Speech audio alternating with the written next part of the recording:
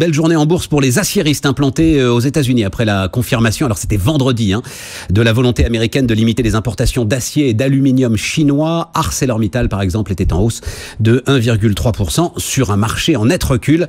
Euh, notez aussi de gros reculs, de gros volumes, euh, pas recul au contraire, de gros volumes autour de Valourec. Les résultats seront jeudi et Valourec a enregistré hier une hausse de 4,53%. Hein, le tube sans soudure pour euh, l'extraction pétrolière.